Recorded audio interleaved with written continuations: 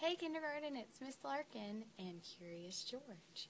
In science, we've been talking about how different people can move in different ways. People can walk, people can run, people can jump and hop and skip. Well, did you know that animals can move in different ways too?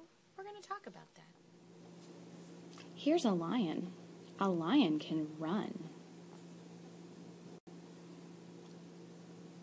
Possums can climb. A kangaroo can jump really high. Turtles can crawl. Fish can swim. A crab can walk.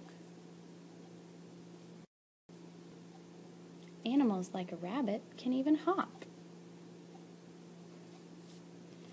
But did you know that animals can do things that people cannot do? Like a snake.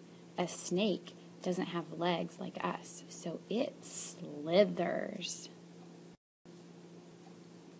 And a bat. A bat can fly. Here's a butterfly. It can also fly. That's something that we cannot do. Okay, so for tomorrow, I'd like for you to bring an example. That would be a drawing or a picture of a way that you can move and a way an animal can move.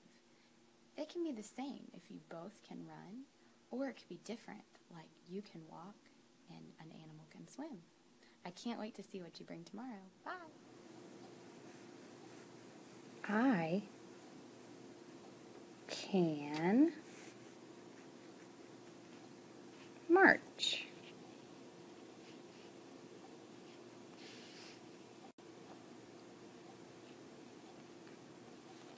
A duck